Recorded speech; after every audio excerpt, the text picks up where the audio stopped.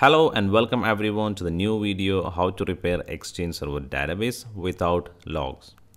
In this video, I'm going to show you how to repair Exchange database when you are in a situation you don't have access to the log files. As an Exchange Server administrator, you may come to a situation to get the database working without a proper log setup and database logs may get corrupted unexpectedly due to losing access to the logs database storage or some unexpected corruption may lead to a situation to restore the database without logs. So in this video, I'm gonna demonstrate you how to handle this challenge using ESEutil that is an inbox feature or inbox tool from Microsoft to repair any kind of database repair. And I will also show you how to repair your Exchange database using Stellar Repair for Exchange. Now from the Exchange Server Admin Center, you can see that the mailbox database mount status is dismounted. So in this situation, users cannot access their mailbox because all the mailbox data sits inside the Exchange database. So let's open the Exchange Management Shell. So from the Microsoft Exchange Server, Exchange Management Shell, what you can do is you can navigate to the ESEutil installation directory and from there you can run ESEutil slash mh then mailbox database name and that will display you the state of the database. So the state here is dirty shutdown. You can expect clean shutdown or dirty shutdown here. A dirty shutdown means the database is not in a healthy state. So when an Exchange server dismount a database, all the transaction logs in the cache are uh, committed to the database. But if the database dismount happen in an unexpected situation and the transaction logs are not completely copied to the database, then the database will show you a dirty shutdown scenario. In this case, you need the logs to be processed in order to recover the database. So we have two options with ESCU ESEutil. One is to try for a soft recovery and a hard recovery. So let's try that first. So what you see now is the soft recovery command that is ESEutil slash R then following to the log extension name. Once you run this, you will get some results. And as you know that the logs files are missing, uh, this is not going to be successfully completed, but it will display some errors and there are different type of errors you may get based upon the uh, situation you have and I will display you the errors. So following are the errors that you can expect if something related to the uh, log file corruption or log file missing. So now uh, we can see that we don't have an option to recover using the soft recovery as the uh, log files are missing. So what I'm gonna do is I will run the hard recovery option that is the final option I have with the ESEutil and let's see the result. So let us run the hard recovery command that is ESEutil slash p then the database name with location. Now you get a pop-up message and uh, that will tell you exactly the transaction logs that are not going to be applied during the repair process to the database so as the transaction logs are partially committed, we get the dirty shutdown error.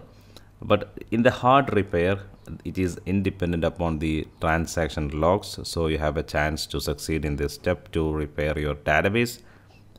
Now it completed successfully, but in the notes you can see that uh, you are requested to perform an Im immediate full backup. But in my recommendation is to move important steps to a new database. So your repair completed but your job not doesn't completed. You need to do something else to uh, secure your data now you can again run the ESEutil command and you can see that the uh, state of the database whether it is a clean or dirty shutdown. So if you successfully recovered then it means you get a clean shutdown. Otherwise it remains as a dirty shutdown. In clean shutdown you can easily mount the database. The second option we have is stellar repair for exchange you can see there is a free download option which will help you to see the preview of your recoverable items in your mailbox database.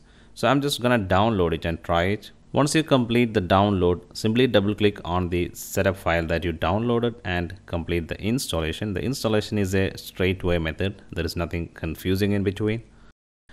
Once you complete the installation, you can easily launch Stellar Repair for Exchange from the desktop. I'm going to skip this wizard now. I will point out the EDB file later. From the help, you can see there is an option about which will help you to know which version you are using. So I'm using the latest one as if now 10.0 is the latest one.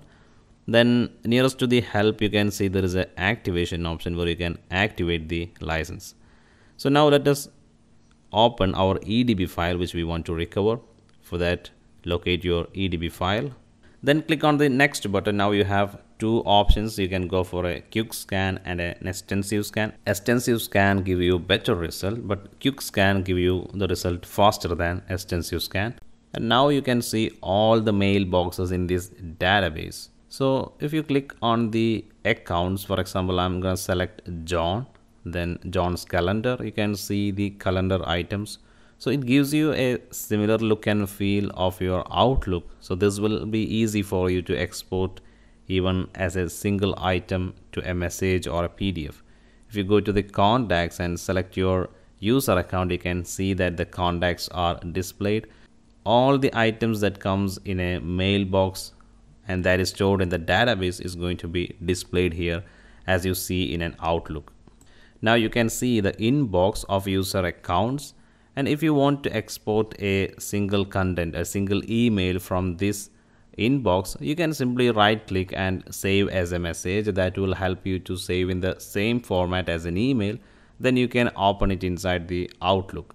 You can see that now we exported the single item. If I double click on it as I have installed Outlook, I can simply open it and read it as you read in an Outlook. So this is the beauty of recovery. You have a granular recovery option with this software and you have other choices also like save as PDF and EML etc. Now we are going to export this as a PST. For that you right click and save as a PST. Now point out the location. Now you can apply some filter like uh, a date range. You can exclude junk items and deleted emails. You can also specify an email address and you can specify to exclude all the mail items from a particular email address. Now the PST export has completed and if you click on the open contain folder that will show you the PST file and you can see the size of the PST file is around 6 GB.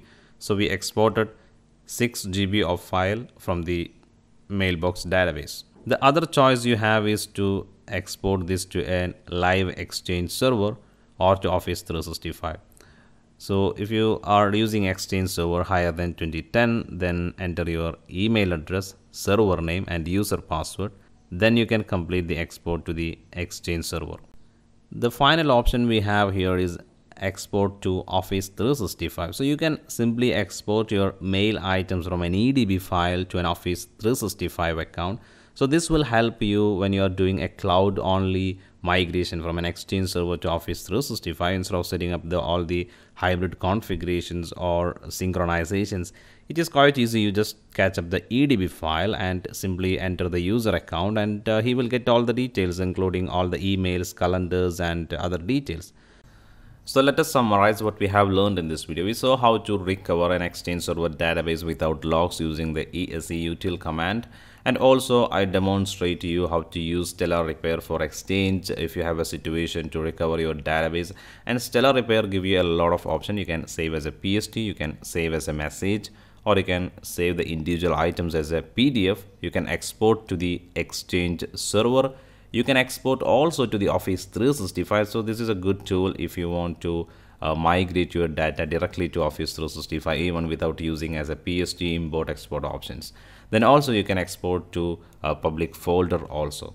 So that is all. Thank you for watching this video. For more videos, subscribe my YouTube channel.